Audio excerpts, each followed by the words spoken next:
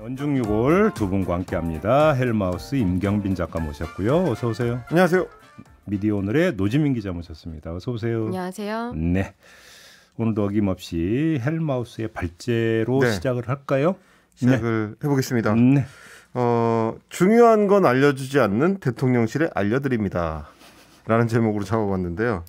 그 최근에 이제 워낙에 대통령이라든지 대통령실과 관련된 논란들이 많았었기 때문에 음. 우리 이제 기자들 같은 경우는 대변인실 명의로 된 알려드립니다. 혹은 뭐 홍보수석실에서 보낸 이 알려드립니다 문자를 상당히 좀 많이 받았는데요. 음. 저도 이게 내용을 받아보니까 실제 논란의 내용과 뭐 별로 관계가 없는 사안으로 약간 사안을 좀 축소시켜서 해명을 하거나 뭐 혹은 중요한 논점에 대해서는 살짝 피해가고 별로 안 중요한 쪽으로 이제 선택적인 해명을 하거나 뭐 이런 경우들이 좀 있는 것 같아서 음. 그 부분을 좀 지적해 보고 싶어서 가져와 봤습니다. 예를 들면 예를 들면 이번 주에 이제 가장 좀 화제를 모았던 기사 중에 하나는 어, 우리 언론도 아니고 이제 미국 언론도 아닌 인도네시아 언론 콤파스 어, 벤츠 네, 이 음. 매체에서 보도한 한국 대통령은 제네시스보다 메르시를 더 좋아한다.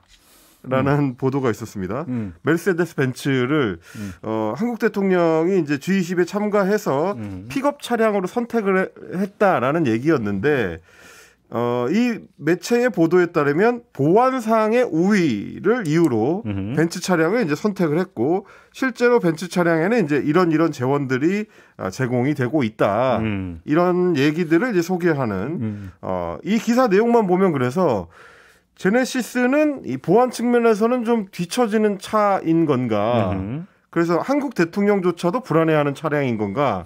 라는 생각이 들 수 있는. 음. 그래서 이제 그 부분에 대해서 민주당의 이원욱 의원도 이 지적을 하기도 했습니다. 근데 픽업 트럭은 들어봤는데 픽업 차량은 뭐예요? 어, 공항에서 픽업해주는 차량, 픽업 아, 차량. 아, 공항에 도착해서 이제 뭐 숙소나 이런 데로 이동할 때 그 타는 차량을 픽업 차량이라고 그렇습니다. 그러니까? 뭐 음. 이원욱 의원도 그 부분을 지적을 했는데 사실은 어, 이런 정상회담이 열리면 음. 카메라가 가장 많이 초반에 배치되는 데가 또 이제 공항에 도착하는 장면을 찍는 거라서 보통 영접 장면을 이제 많이 내보내니까. 그렇습니다. 그렇죠. 저도 사실 오늘 이제 준비를 하면서 그 각 국가의 정상들, G20 참석한 국가 정상들 이름하고 어, 차량, 뭐 공항 이렇게 이 키워드를 넣어서 검색을 해봤더니 대부분 나오더라고요. 음. 우리 매체로도 뭐 독일 슐츠 총리가 뭐 도착해서 차량을 탑승했다, 음. 뭐 아, 프랑스 마크롱 대통령이 도착해서 탑승했다 이런 게다 네. 사진 기사로 나오는 걸 보면 그러니까 아마- 결국 여기서 이제 엄청난 홍보 효과가 이제 좌우가 되는 거잖아요. 그렇습니다. 초반에 이제 굉장히 좀 주목을 받을 수 있는 거죠. 음. 아, 그러다 보니까 이제 이게 논란이 됐고 대통령실에서는 기자들한테 이제 알려드립니다 문자 메시지를 통해서 이- 이 이제 일종의 이제 정정 보도 요청인 셈인데요. 음흠. 어, 문자 메시지를 보내서 해명을 했는데 제가 그 문자 메시지를 받아 보니까 과연 이 내용만으로 충분한 설명이 되는 것일까라는 생각이 좀 들었습니다. 쉽게 하면 이제 그 음. 혼용했다 이거죠. 그쵸. 그렇습니다. 제네시스도 타고 벤츠도 탔다. 뭐 이런 네. 거잖아요. 그래서 이제 일부 구간에 따라서 경호 환경을 고려해서 어, 번갈아서 탔다라는 얘기가 문자 메시지에 들어 있고 음. 처음 이제 문자 메시지 시작하는 대목이 이렇게 돼 있습니다. 윤석열 대통령이 G20 정상회의 참석 시 벤츠 차량만 이용하였다라는 보도는 사실과 다릅니다. 음. 이렇게 시작을 하고요. 뭐 일부 국가에서는 이제 방탄 차량을 추가로 제공을 받았다. 우리도 마찬가지고 그리고 경호 환경을 고려해서 번갈아 탔고 어, 다른 주요국의 정상들도 차량을 혼용했다. 이런 내용으로 구성이 되어 있습니다. 음. 근데 제가 이제 왜 선택적 해명이라고 말씀을 드렸냐면 일단 어, G20 정상회의 참석 시에 벤츠 차량만 이용했다. 벤츠만 탔다. 어, 이렇게 보도한 어, 기사는 제가 검색해 봤을 때는 일단 없었습니다. 그러니까 벤츠만 탔다고 문제를 삼는 게 아니고 애초에 이제 인도네시아의 콤파스에서도 보도할 때 픽업 차량으로 그러니까 공항에서 처음 탑승하는 차량으로 벤츠를 이용했다. 음. 그리고 이제 민주당의 이원욱 의원이 비판을 할 때도 마찬가지로 가장 언론의 주목도가 높은 공항에서 왜 하필 그 차를 탔느냐 이 부분을 지적을 하고 있었는데 대통령실에서는 갑자기 뜬금없이 어, 내내 벤츠 차량만 이용했다는 건 사실과 다릅니다. 이렇게 반박을 하는 거죠. 아, 그런 지적은 한 대가 없는데. 그러니까 사실과 다른 게 없었다. 그렇습니다. 우리 네. 노지민 기자 그 이거 문 이거 알려드립니다. 받으셨어요? 예, 네. 받았습니다. 받았을 때 느낌이 어땠어요, 그러면? 어, 중요한 걸 다 빼놓고 있다는 걸 지적을 해주셨잖아요. 예. 그리고 여기에서 설명을 보면은 경호 목적상 필요하다고 판단되는 일부 국가에 제공했다 이렇게 얘기를 했거든요. 음, 음, 음. 그러면은 경호 목적상 뭐가 필요했는지 이런 음. 설명들이 있어야 되는데 음.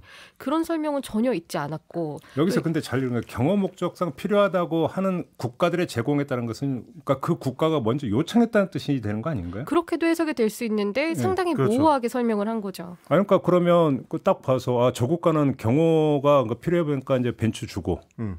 저 국가 정상은 아니니까 제네시스 주고 이렇게 그 알아서 했을 리는 없는 거 아니죠? 그렇죠. 뭐 대통령 관상 보고 줬을 리는 없으니까요. 그러니까 그러면 결국은 요청했다고 해석을 하는 게 상식적인 문해력 아닙니까? 그렇죠. 음. 근데 이제 문, 그렇게 되면 더 문제가 될 수 있는 건데 이원우 의원도, 의원도 이제 그 부분을 지적을 하더라고요. 우리가 만약에 제네시스 말고도 추가로 경호 목적상 벤츠가 필요합니다라고 요청을 했다 그러면 음. 결국은 콤파스가 지적한 것처럼 제네시스가 보안상 취약하다. 이걸 이제 스스로 얘기하는 셈이 되기 때문에 음. 아마 대통령실에서도 그 부분까지 상세하게 얘기는 안 했지만 음. 일단을 드러낸 정도가 아니었나 좀 그렇게 추측이 좀 되는 측면이 있고요. 그리고 이제 또 하나는 추가로 차량을 제공했다라거나 다른 정상들도 혼용해서 차량을 탑승했다라는 거는 어 진짜 핵심은 아니고 어그 사람들한테 이제 G80이 이제 다른 나라 사람들 다른 나라 정상들 같으면 어, 제네시스가 자국산 차량이 아니라 어 중요한 문제가 아니다 이렇게 얘기를 할 수가 있는 거죠. 그러니까 가장 좀 홍보를 집중해야 되는 어, 공항에서의 픽업 장면에 그동안 어, business friendly를 내세웠던 어, 우리 대통령이 왜 우리 기업의 이 차량을 타지 않고 어, 벤츠 차량을 선택을 했느냐는 문제에 대한 해명이 좀 더 명확하게 들어갔어야 되지 않느냐. 그토록 국익을 강조하시는 대통령이신데. 그렇습니다. 왜냐하면 비교가 되기 때문인데요. 음. 어제 사실 JB타임즈에서도 지적을 해주셨지만 어, 미국의 바이든 대통령은 역시 마찬가지로 어, 제네시스가 아닌 다른 차를 타긴 했지만 그 유명한 비스트. 네. 그렇습니다. 캐딜락 트- 트럼프가 김정은 위원장 때 그렇게 자랑했던 그 네. 비스트. 음. 그죠? 여기에 모두 있다 모두 있다 자랑했던 네. 자국산인 캐딜락을 탔고요. 그리고 시진핑 어, 중국 국가주석도 홍치 자국산 차량을 탔습니다. 그러니까 자국산 차량이니까 그건 상관이 없는 거죠. 그렇습니다. 혼용했지만 자기네 차. 오히려 도랑치고 가지 잡는 거죠, 그거는. 그렇습니다. 자국 그러니까 자기 나라 차 홍보도 그러니까 겸하는 거니까. 그 이제 거꾸로 생각하면 이제 미국 대통령이나 중국 주석처럼 하려면 우리도 자국산 차량을 타야 되는 건데 우리는 거꾸로 이제 벤츠를 탄 우리가 뭐 독일 총리인 게 아닌데 이런 부분에 대해서는 조금 더 설명이 이제 필요했다. 근데 본질적인 사안을 회피하고 다른 나라도 두 대 탔다. 이렇게 얘기하는 건 좀 맞지 않는 것 같고요. 아무튼 그러니까 대통령실이 알려드립니다가 핀트가 안 맞았다. 네. 그러니까 그 어디서도 계속 벤츠만 타고 그러니까 돌았다라고 이야기한 적은 없다. 그렇습니다. 요 얘기인 거죠. 그리고 이제 추가적으로 저는 좀 지적을 하고 싶었던 게, 그러니까 왜 컴파스가, 그러니까 인도네시아 매체가 한국 대통령이 하필 제네시스를 타지 않은 문제를 지적했는가, 이게 중요하다고 생각을 하는 건데요. 그렇지, 그렇지. 이게 굉장히 중요한 문제인 게 뭐냐면, 인도네시아라는 국가와 현대자동차와의 관계 때문입니다. 오. 인도네시아가 일단 그 뭐 중국, 인도, 미국에 이어서 세계 4위의 인구 대국이고요. 어떻게 보면 이제 아세안에 있어서는 굉장히 좀 일종의 교두보 역할을 할 수 있는 국가다라고 현대자동차가 낙점을 한 상태입니다. 아니 이거저거 다 짜놔서 그러니까 G20 정상회의를 주최한 인도네시아에서 공식 의전 차량으로 제네시스를 선택을 했다는 것 자체를 네. 100번, 1000번 오히려 계속 그러니까 뭐 뻥튀기 차원이라도 계속 하는 게 오히려 국익에 부합이 되는 거예요. 오히려 도움이 되죠. 그렇죠. 그리고 이제 반대로 보면 현대차나 인도네시아 입장에서는 사활을 걸어야 되는 중요한 사안 중에 하나인 게 음. 올해 3월에 현대차가 인도네시아에 새 공장을 준공을 했습니다. 음. 근데 규모가 굉장히 크고요. 음. 그러니까 아세안 전체로 현대차 그 중에서도 전기차를 보급하기 위한 전진 기지로 만들었습니다. 네. 홍보도 많이 했고. 네. 그래서 사실은 이번에 G20을 열 때도 인도네시아가 굳이 제네시스 차량을 공식 의전 차량을 선택했고 음. 어, 현대차도 거기에 이제 굉장히 좀 공을 많이 들였던 건데 음. 그래서 굉장히 홍보를 잘 할 수 있는 어쩌, 어쩌면 음. 그리고 대통령실이 조금 더 신경을 썼더라면 굉장히 적극적으로 활용했어야 되는 타이밍에 하필 벤츠를 타가지고.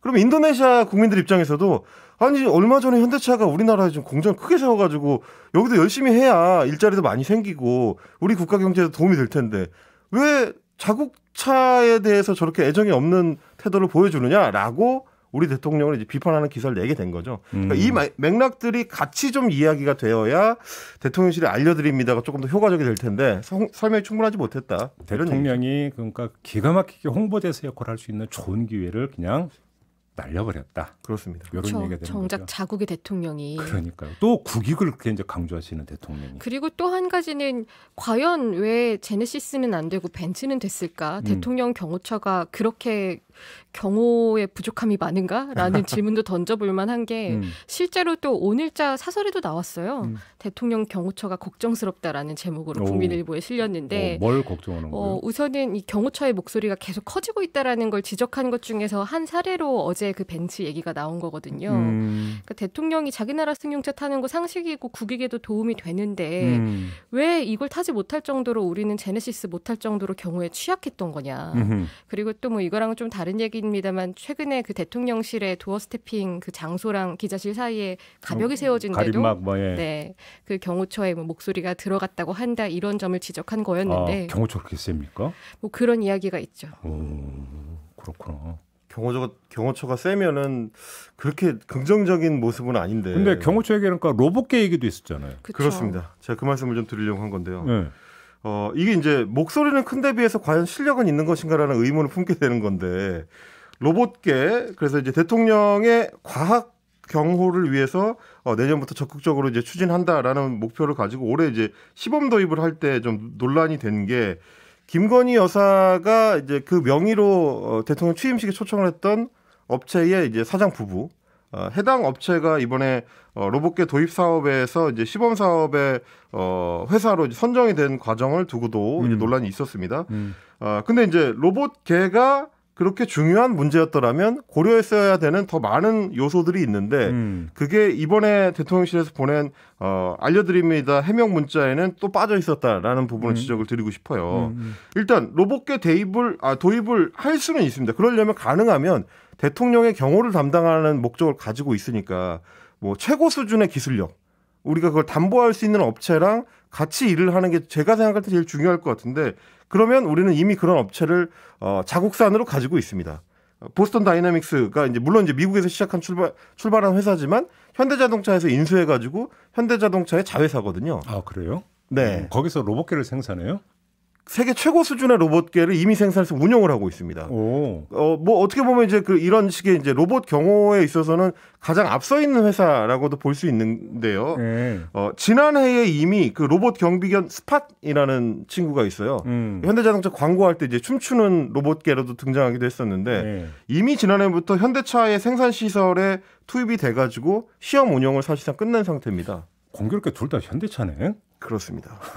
그죠? 네. 여- 뭐 음모론을 제시할 에이, 분들 뭐, 아, 에이, 뭐 없겠죠. 그 얘기- 그 얘기하려는 건 아니고. 네. 공교롭게도 공교롭게 그냥. 그렇습니다. 음. 그러니까 사실은 그래서 로봇계를 도입하겠다라고 하면 저는 당장 스팟부터 떠올릴 것 같거든요. 굉장히 원래 유명하기 때문에. 음. 그런데 왜 이 현대자동차의 스팟이 아니라 어, 미국산의 다른 업체를 선정을 했느냐 이런 부분들도 저는 좀 이렇게 조금 더 상세하게 설명을 해줬으면 좋겠는데 어떤 그러니까 왜이 업체여야 됐는지가 설명이 됐어야 되는데 그렇습니다. 저희도 이걸 전한 바가 있는데 뭐 로봇계 도입은 문재인 정부 때부터 검토를 해왔던 것이다. 뭐 이런 식으로 설명이 되던데요. 맞습니다. 음. 그래서 뭐 저 같으면 그러니까 제가 이제 저널리스트적인 점에서 어, 궁금한 부분들은 어떻게 해서 그 미국 업체가 더 강점을 갖 게 됐는지 어떤 부분들이 선정의 이유가 됐는지를 좀 설명해 줬으면 좋겠는데 그 부분은 좀 빠져 있고 그거는 우리가 검증을 해본 결과다라는 식으로만 넘어가고 있어서 설명이 좀 부족하다 그런 느낌이 들었고요.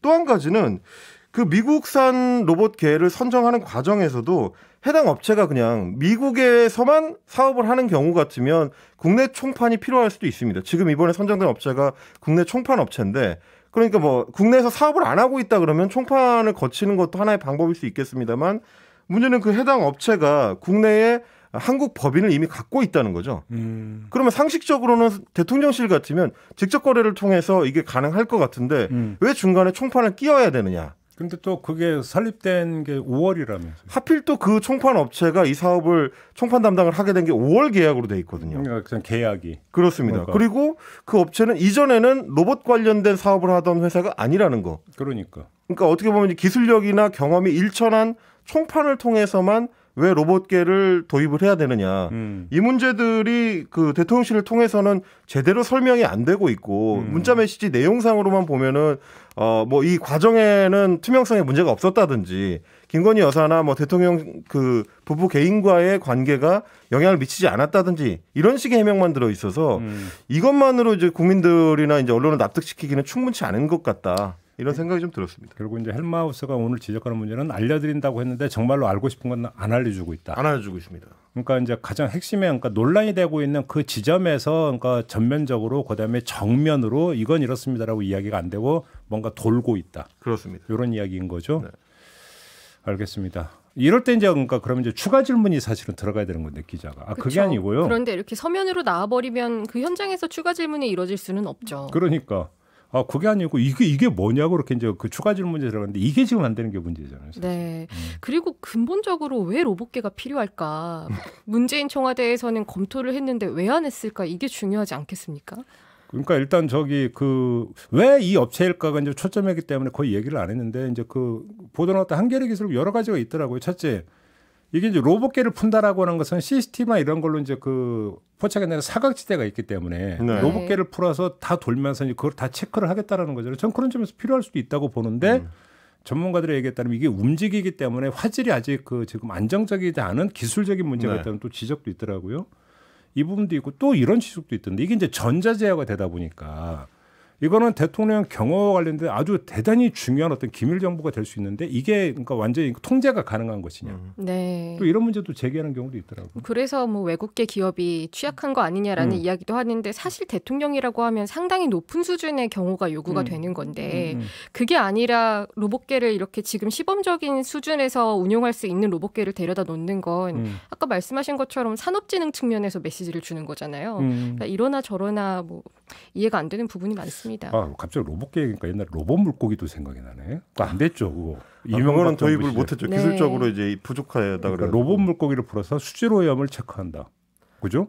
그렇습니다. 오, 갑자기 그게 기억나네. 노지민 기자님이 지적해주신 포인트가 사실 저도 지적하고 싶은 맥락인데요. 음. 그러니까 사실 로봇계를 도입한다고 하는 거는 시범 사업을 통해서 우리가 어, 이런 기술력, 이런 산업을 갖추고 있습니다를 보여주는 장이기도 한 건데 음. 왜 하- 국내 기업이 있는데도 그런 기술력을 자랑할 수 있는 아주 좋은 기회, 대통령실이라는 최적의 testing bed를 미국 기업한테 총판을 통해서 내줘야 되느냐 이제 이런 부분을 좀 더 지적을 해줘야 된다. 언론에서 좀 더 들어갈 필요가 있는 논의가 아닌가 뭐 그런 생각도 좀 듭니다. 만약 이렇게 이제 이럴 때 질문하라고 이제 만든 게 doorstepping인데 doorstepping은 이제 그러니까 중단이 돼 버렸다. 네. doorstepping이라고 해서 이제 물론 뭐 이제 선택적 답변을 하긴 하더라고요. 그래서 모든 질문에 답변하는 것도 아니긴 하긴 했습니다만 이조차 지금 이제 막혀 있다라는 건데 다음 이야기가 이제 바로 그렇게 연결이 될 수 있을 것 아, 같은데. 제가 그래서 한 네. 가지만 더 네. 말씀을 드리고 싶은 게 사- 산업적 측면에 있어서 대통령실의 역할이라는 점에서 봤을 때는 음. 뭐 이제 윤석열 정부가 전 정부하고 비교하는 걸 좋아하니까 저도 비교를 하자면 문재인 전 대통령 같은 경우는 광주형 일자리를 굉장히 좀 정책적 핵심 사업 중에 하나로 추진을 했었고요. 음. 그 광주형 일자리를 통해서 생산한 첫 차가 어 이제 Casper라는 차량이 있었습니다. 이건 많이 돌아다니는데요. 예. 실제로 그래서 대통령이 그 당시에 사비로 직접 온라인 결제를 해서 Casper 차량을 구매를 해가지고 음. 지금도 차량을 타고 있거든요. 음. 근데 이제 그거는 결국은 이제 메시지의 문제인 겁니다. 그러니까 대통령 이 퇴임을 하더라도 의전 차량으로 Genesis 차량이 제공되는데 음. 그거와는 별개로 개인이 사서 타는 차로서의 Casper를 계속 보여주는 거. 그게 어떻게 보면 대통령실이 담당해야 될 굉장히 중요한 어떤 홍보 메시지 음. 그런 측면에서의 이제 중요성을 보여주는 건데 음. 반대로 지금 윤석열 대통령은 그렇게 일부러라도 해야 되는 어떤 것을 거꾸로 한 게 아닌가. 알겠습니다. 대통령실이 충분히 챙기지 못한 지점이 있었다. 이 말씀 좀 드리고 싶습니다. 그 이렇게 정리를 하고 이번엔 노지민 기자의 발제로 넘어가겠습니다. 네, 뭐 이번 주에 많이 이야기가 됐죠. 월요일부터 사실 도어 스태핑 중단으로 시작을 해서 음, 음, 음. 이번 주에 짚고 나, 짚고 넘어가야 할 부분들이 좀 있는데 뭐 앞에 여러 설명들은 좀 생략을 하고 말씀을 드리면 기자 관련해서 예의 논쟁이 엄청 불이 붙고 있어요. 쓰레빠. 네, 슬리퍼를 신고 팔짱을 끼고 질문을 했다. 뭐 공교롭게도 이 역시 뭐 또 기자 출신 언론인 분들이 우리 땐 음. 그렇지 않았다라고 하면서 이야기를 하면서 지적이 됐는데 음. 뭐 예의 관련한 여러 보도들이 쏟아지고 음. 또 우리가 진짜 생각해야 될 예의가 뭘까 음. 이런 얘기를 좀 해봐야 될 것 같아서요. 어, 기자의 예의란 무엇인가? 어, 네. 그래. 어려운 문제죠. 어떻게 음, 보면 음. 다, 단순하면서도. 근데 네. 우선은 지금 좀 특이점은 기자와 예의 관련해서 상당히 많은 보도가 나오는데 음. 과거 사례들이 좀 소환되고 있는 게 있거든요. 예를 들면 뭐 예를 들어서 가장 많이 얘기가 되는 게 문재인 대통령 신년 기자회견 당시에 경기방송 기자가 했던 질문. 아, 아, 아, 아. 단도직입적으로 물어보겠습니다 음. 하면서 얘기했던 것이 그 과거의 영상이 소환이 되고 음. 또그 당시 청와대 관계자들의 이야기가 나오면서 음. 뭐 이, 이때도 예의 논쟁이 불거졌다라는 이야기가 나왔는데 음. 또 하나는 이제 또 이재명 현 더불어민주당 대표의 경우에 2018년 경기지사 당선 직후 그 본인의 아. 스캔들 관련된 질문을 받았을 때 어, 중단을 하고 이런 질문들은 하지 않기로 했는데 뭐 예의가 없다라는 취지로 이야기를 했던? 거였고요. 그렇죠. 음. 또 이것도. MBC였네요. 음. 그리고 뭐 이런 이야기들이 많이 나오고 또 이해찬 전 대표 같은 경우에 고 박원순 시장 빈소에서 그 박 전 시장의 그런 아, 아, 예. 네, 성폭력 의혹 관련해서 거르장말이 질문을 없다고 했던 예. 네, XX 이때도 XX가 등장을 했거든요. 음. XX 자식이라고 이야기를 했다가 음. 나중에 이 경우에는 좀 사과를 했었거든요. 아 이해찬 그때 대표가 네, 강훈식 수석 대변인이 그 해당 매체 사과를 했었는데 음. 그런데 사실 예의가 없다라고 기자들이 듣는 경우가 상당히 많았던 걸로 기억이 나거든요. 안타깝게도. 음. 그래서 좀 찾아봤는데 이게 민주당에 있는 정치인들만 이런 말을 한 거는 아니더라고요. 그래요? 네, 가까운 예로는 지난해 10월에 바로 윤 대통령이 경선 후보 시절에 국회에서 기자회견을 했어요. 네. 그런데 한 기자가 대단히 죄송한 말씀이지만이라고 하면서 그 당시에 개사과 논란이 있었죠. 아, 예. 인스타그램에 뭐 개사과 사진이라는 게 좀 이렇게 논란이 됐었는데 음. 이걸 코바나 콘텐츠에서 찍었다는 말이 있다라고 하면서 질문을 했고 음. 이걸 끝나고 나서 그 당시에 주호영 공동선대위원장이었거든요. 어, 누구인지 소속 밝히고 물어봐라. 예의가 없다. 음. 이렇게 말한 사례도 있었고. 음. 또그 전에 2018년에 김문수 자유한국당 서울시장 후보 추대하는 결의식이 있었는데 후보 단일화 요구가 높았기 때문에 이 중도 사퇴 가능성을 질문을 했단 말이에요. 음. 그런데 이때 강효상 의원, 조선일보 편집국장까지 지낸 정치인이죠. 음. 예의를 갖춰야지. 이런 자리에서 중도 사퇴가 무슨 말이냐, 그게 할 말이냐 이렇게 말한 적도 있었죠. 아, 그러니까 좋은 질문, 안 좋은 질문. 네, 이렇게 그렇죠. 가른다는 얘기잖아요, 결국은. 네, 그래서 이렇게 지금 나오는 기사들을 보면 과거의 그런 예의 논쟁 중에서 특정 예의 논쟁만 좀 불거지고 있지 않은가 이런 음. 면에서 균형성의 문제도 한번 지적을 해줘야 될 것 같고. 또 한 가지는 그러면은 여기에서 나온 기자들이 잘못한 지키지 못한 예의는 무엇일까라는 걸좀 생각을 해봐야 된다는 거죠. 아, 일단 그 질문 내용, 그러니까 두 가지로 나눠서 네. 지금 이제 그 노지민 기자는 기자의 어떤 질문 내용 네, 이걸 그러니까 예의와 연결시키는 게 과연 온당한 것이냐 네. 이 문제 제기를 한 거잖아요. 네. 질문은 아무거나 다 할 수 있어야 되는 게 질문 아닌가요? 기자라면 그거 아닌가요? 그런데 여기에서 공통적으로 비판받은 이유가 이런 자리에서 이런 질문을 하느냐. 그리고 또 이건 연관이 되는 게 태도의 문제도 있는 거죠. 이런 자리에서 이런 질문을 던지는 당신의 태도가 문제다. 그리고 과거에 뭐 대통령 문 대통령 기자회견 같은 경우에는 그때 역시 뭐 팔짱 낀 기자가 비난을 받는 경우도 있었고요. 이런 게 같이 복합적으로 작용을 하고 있죠. 그럼 기자로서 어떻게 생각을 하세요, 노지민 기자? 우선은 뭐이 앞서 제가 말한 사례에서 하지 못할 질문을 한 경우는 없지 않았을까요? 음. 저는 그렇게 생각을 하거든요. 음. 물론 이제 뭐 질문을 조금 포괄적으로 한 경우에 구체적으로 했으면 좋았을까 좋았 을 것 같다거나 음. 뭐 이런 아쉬움이 있기는 하지만 뭐 질문이 필요한 사안들이었으니까 질문이 나온 거였고 음. 그 이후에 정치인의 대처들이 논란이 된 사례이기도 하고요. 음. 그런데 지금은 기자의 예의에 대한 비판이 오히려 너무 커져버렸다라는 음. 생각이 더 들고 음. 그래서 그러면 기자들이 무슨 예의랑 품위를 지켜야 되는 거냐 이게 원칙이 없지도 않아요. 음. 이게 기자협회의 여러 원칙들이나 뭐 가이드라인 같은 게 있잖아요. 언론윤리 현장 중에 품위 있게 행동해야 된다는 게 있는데 뭐 거기에 높은 도덕성 유지하고 이해상충 경계하고 취재 보도 과정에서 정당한 방법 사용하고 예의를 갖춘다. 네.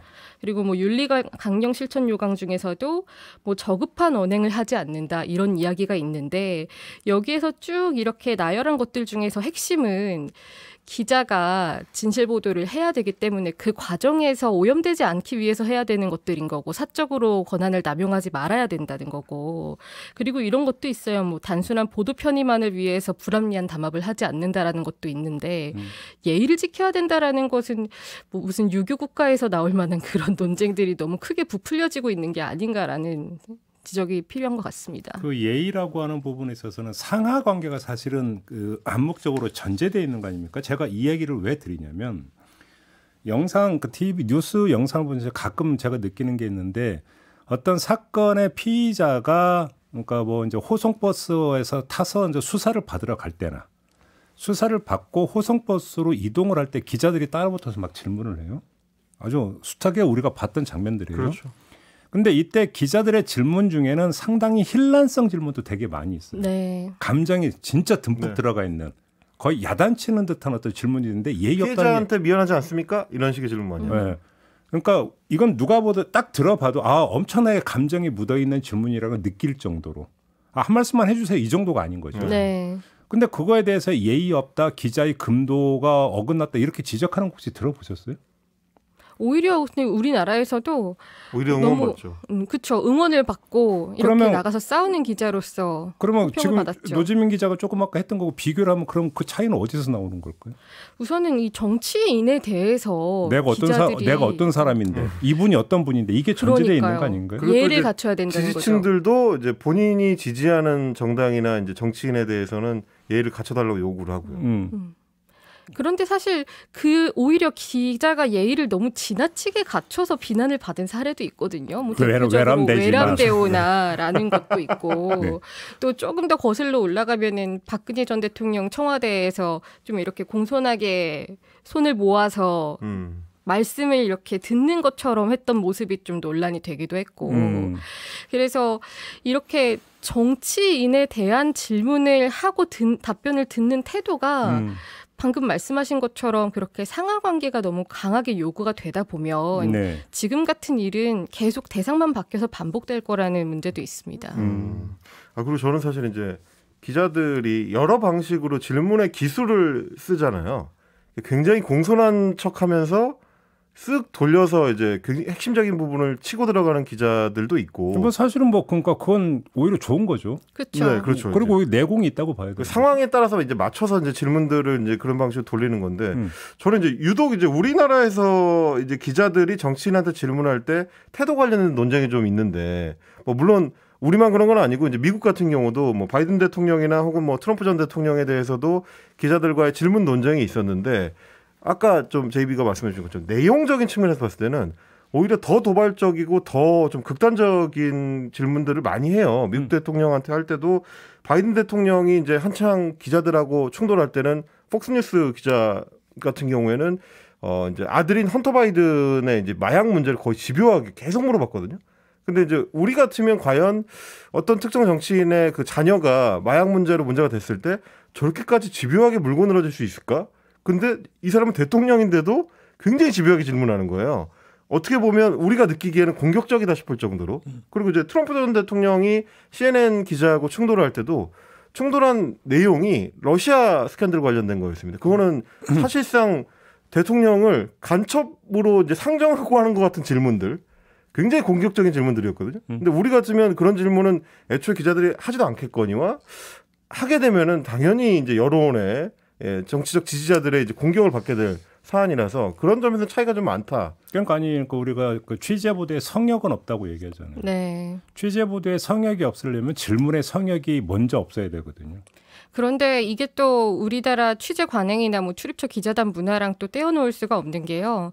뭐 모 일간지 우리나라 그 1등 신문이라고 불리는 그 일간지 기자들의 경우 공개적인 데서 질문을 하지 말아라라는 교육을 받는다는 말이 되게 많이 퍼지기도 했고. 사내에서 그렇게 교육한다고요? 네, 그런 이야기가 뭐 물론 그 언론사뿐만이 아니라 과거에는 그런 이야기를 되게 많이 들었다고 하는 기자들이 많았어요. 왜요? 왜요? 그러니까 다른 기자들이 내가 가지고 있는 중요한 사실에 대한 걸 알지 못하게 하고 아, 그 질문을 하는 네. 순간에 공유가 돼 버리니까. 그렇죠. 공개적인 데서 하지 말고 나중에 따로 연락을 해서 음. 그에 대한 답변을 들어야 된다라는 거죠. 그럼 뭐 기술상으로 그럴 수도 있긴 있죠. 그럴 수 있는데 음. 문제는 그렇게 되면 어느 정도 관계가 유착까지는 아니더라도 뭐 친소 관계가 있어서 취재원과 조금 가깝다거나 이런 매체가 아니면 답변을 들을 수가 없게 되는 거고요. 그렇죠. 이제 그러니까 개별적 접근, 취재 접근이 그러니까 불가능한 경우와 네. 가능한 경우 이게 달라지는 부분이 있긴 그게 있죠. 첫 번째고 또 두 번째 같은 경우에는 우리나라 기자들이 특히나 뭐 대통령실 같은 데처럼 음.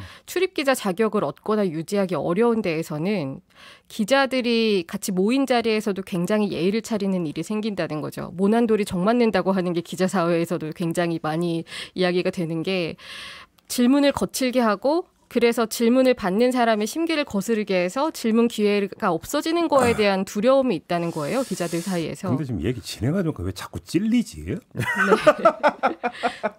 아니 제가 음. 매일 매일 질문하는 사람이니까.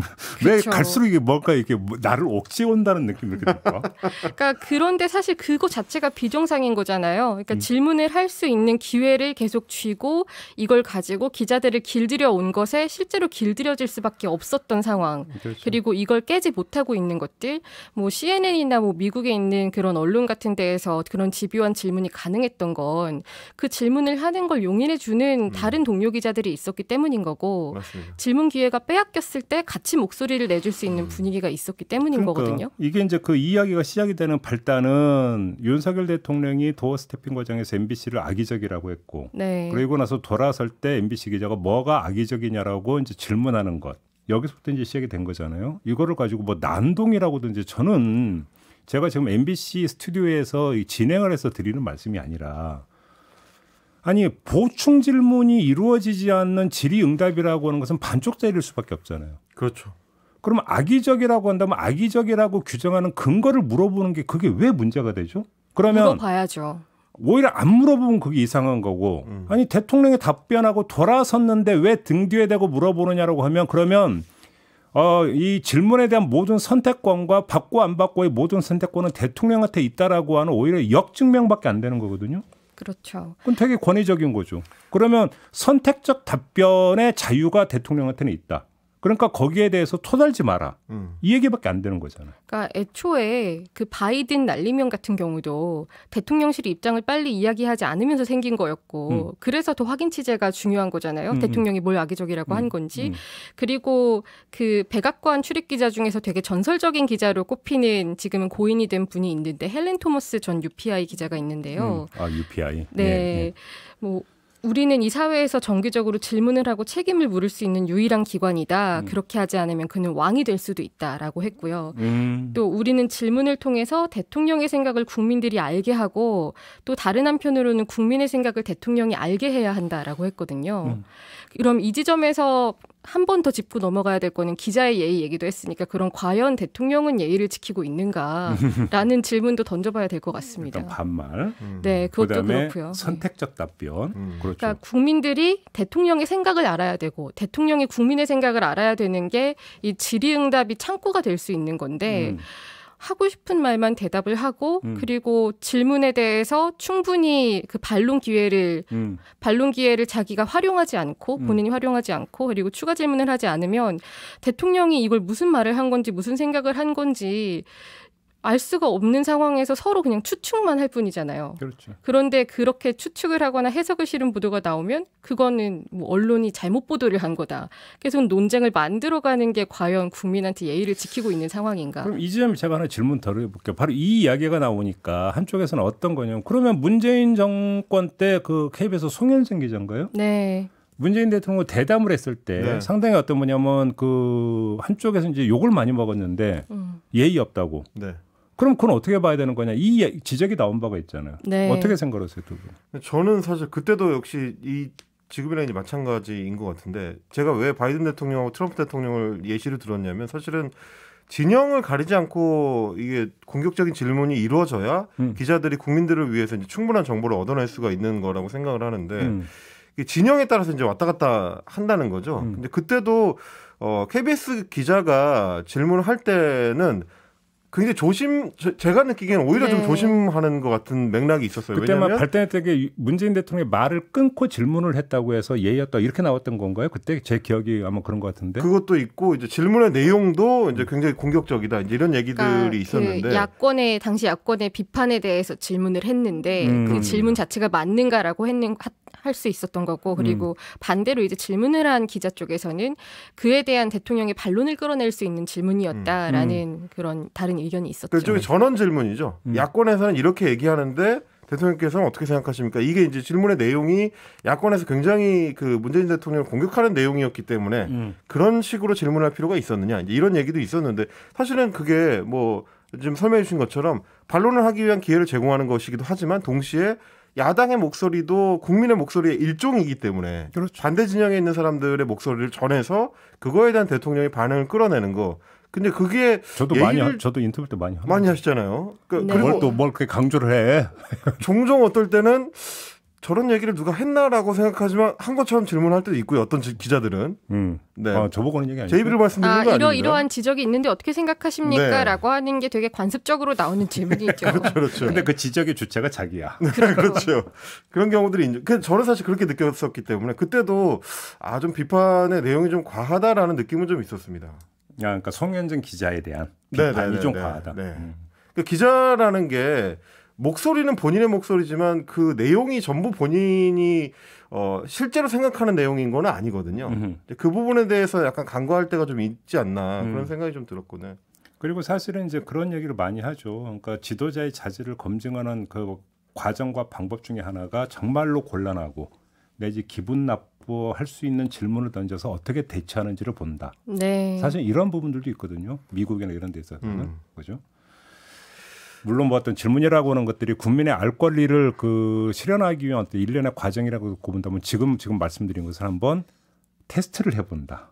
뭐 이런 성격을 좀 띠고 있기 때문에 뭐, 뭐 논란의 소지가 뭐 아예 없다고는 볼 수 없겠습니다만 아무튼 질문의 성역은 있어서는 안 된다. 네. 라고 하는 것들을 가장 기본이 되는데 여기다 갑자기 예의라고 하는 걸 가지고 이걸 옥죄어 버리면 어떻게 되느냐. 요 얘기가 되는 거잖아요. 네. 쓰레빠는 어떻게 돼야 되는 겁니까? 슬리퍼는 사실 그 자리가 뭐 공식 기자회견이어서 음. 기자들의 모습까지 다 중계가 된다고 하면 뭐 불편해 하시는 분들이 있을 수 있을 것 같은데 그 자리는 대통령을 주로 촬영을 하고 기자들이 기자실에서는 실내화를 신는 경우들이 많거든요. 음, 그냥 기자실에 있다가 나오는 거죠. 음. 그런데 뭐 최근에도 대통령실에서 뭐 슬리퍼가 뭐냐 이런 식으로 말하는 이야기가 있었다고 하는데 뭐 그걸 얼마나 큰 무게 있는 비판으로 들었겠어요. 그러니까 저는 그 얘기를 약간 확장하면 이건 이제 반은 농담이고 반은 진담, 네. 반농 반진인데 제가 제일 애용하는 패션은 잠바거든요. 음. 근데 여기서 욕 먹었어요. 잠바 입고 진행하지 말라고 노숙자로 보인다고. 어, 그거는 잠바만의 문제가 아니었어요. 분위기를 풀어보려고. 어씨 아니, 진행 안 해. 아니 어떻게 제가 이렇게 하고 싶었던 얘기를 쏙쏙 하실 수가 있죠? 진행 안 해. 아, 감사합니다. 그러니까 뭐냐면 진행 진행자로서 어떤 게스트에 대해서 이제 예의를 그러니까 표하는 데 있어서는 물론 여러 가지 여기서 예의라고 하는 네. 것은 통상적인 에티켓 부분이겠죠. 어디까지냐라고 하는 것. 그래서 그러면 기자가 청바지 입고 취재하면 안 되고 정장 입고 취재해야 되는 것이냐. 실제로 그래서 좀 뭐 대통령실이나 뭐 정부 부처 같은 데 출입할 때는 촬영 기자분들도 정작에 구두까지 신으라고 하는 곳들이 있거든요. 그러니까. 그런데 그러면은 일할 때 굉장히 힘들 수밖에 없거든요. 계속 서서 찍기 때문에. 음, 음. 그러니까 좀 너무 과도한 광범위한 예의가 좀 요구되고 있는 것도 있죠. 그 예의라는 것이 착장에 대한 예의 같은 것들. 그러니까 음. 물론 이제 그런 건 있어요. 기자들이 취재를 하다 보면은 너무 옷을 튀는 걸 입는 경우에 눈에 두드러지게 보여서 이미지상으로 봤을 때 좀 보기가 음. 거슬린다. 인터뷰 대상보다 더 네, 튀어버리면 그런 경우는. 있거든요. 음. 근데 그런 정도를 그렇게 거스를 정도의 복장을 하는 기자는 저는 본 적이 없는 것 같습니다. 그렇죠. 이것도 일률적으로 이게 기준이다라고 구- 굳이 강조할 이유가 있는 것이냐. 음. 알아서 하는 거고. 그렇죠. 그렇지 않습니까? 예. 그 저는 조금 더 어, 물론 이제 기자들을 저희가 이제 옹호하고자 하는 얘기는 아닌데 어, 더 광범위한 자유가 보장돼야 질문의 날카로움이 예리해질 수 있다. 네. 네, 그런 생각이 들고요. 그리고 대통령실도 그런 뭐랄까요, 이제 착장 같은 쓸데없는 거 말고 저도 오늘 같은 얘기인 건데 알려드립니다를 정말 알려주고 싶으면 본질적인 부분을 좀 정리를 해서 얘기를 해달라는 거고 음. 본질적인 거를 가지고 다퉈야지 뭐 슬리퍼를 신었느니 말았느니 뭐 음. 팔짱 꼈느니 말았느니 하는 거는 진짜 본질이 아니잖아요. 음. 근데 본질로 오히려 들어가자면 어, 애초에 doorstepping이라는 시스템을 미국에서 가져올 때는 음. 그러면 그 정신까지도 이제 어느 정도 우리가 수용한다는 생각으로 해야 되는데 음. 대통령이 뒤돌아서 가고 있는데 뒤통수에다 질문하면 어떡하냐라고 하면 미국에서 하는 doorstepping은 원래 그게 목적이거든요. 헬기장을 향해 가는 대통령을 돌려 세우면서 질문을 던지는 게 미국의 doorstepping의 네, 본질이잖아요. 그렇죠, 그렇죠. 원래. 그러니까 문을 나서는 사람을 붙잡고 물어보는 게 doorstepping인데 음. 아니 뒤돌아선 데다 질문하려고 원래 만든 제도를 가지고 왜 그렇게 질문하냐고 물으면 그러면 도어 스태핑을 왜 가져왔느냐고 되질문할 수밖에 없는 거라서 음. 그런 어떤 본질적인 고민이 대통령실에서 실에는 오히려 필요한 시간이다. 저는 좀 그렇게 생각이 됩니다. 그리고 사실 윤 대통령이 만약에 그 자리에서 질문을 좀 언성을 높여 하는 경우가 있었을 때 음. 차분하게 대답을 하면서 어, 그럼 오히려 그런데 우리 좀 이렇게 얼굴을 어. 붉히면서 얘기를 하지 맙시다라고 더, 한다거나 음. 정말 뭐 품격 있게 대화를 나눕시다라고 했다면 오히려 윤 대통령에 대한 반전 여론이 있었을 수도 있다고 봐요. 그렇죠. 그러니까 이런 감각들을 좀 고려를 해야 되지 않는가 생각이 듭니다. 저희 집에도 책에 책 제목이 대통령의 위트인가 뭔가라는 제목이 있는데 보니 미국의 대통령 같은 경우는 곤란한 질문에 대해서 받아치는 것을 대단히 중요한 능력으로 네. 그러니까 간주를 하고 그렇죠. 그다음에 꼭 한 번씩 웃게 만들어야 된다 뭐 이런 게 있어서 그러니까 대통령의 그러니까 위트 능력 이런 것들을 되게 강조를 한다. 그러니까 사례 모음 책도 있어요. 네. 근데 바로 그런 점에서 오히려 그걸 받아쳐 가지고 아 여기서 이제 아 대통령의 내공이 이 정도고 또는 대통령의 포용력이 이렇거나 이런 것들을 보여주는 것 자체가 한편으로는 오히려 그게 역으로 더 좋은 거잖아요. 그렇죠. 대통령 입장에서 우선은 예의를 갈등을. 만들지 말아야죠. 이런 소모적인 걸로요. 물- 물론이죠. 네. 알겠습니다. 자, 오늘은 이렇게 마무리하고 언중요고를 좀 끝내도록 하겠습니다. 두 분 수고하셨고요. 저도 함께 물러가겠습니다. 고맙습니다. 감사합니다. 고맙습니다.